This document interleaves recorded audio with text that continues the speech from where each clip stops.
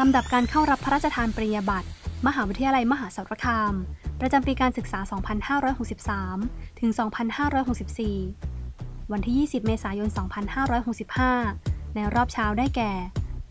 พระสงฆ์ทุนภูมิพล ดุษฎีบัณฑิต มหาบัณฑิต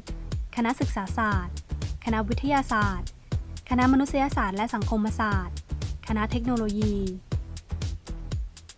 รอบบ่ายได้แก่ วิทยาลัยการเมืองการปกครอง คณะพยาบาลศาสตร์ คณะวิศวกรรมศาสตร์ คณะสาธารณสุขศาสตร์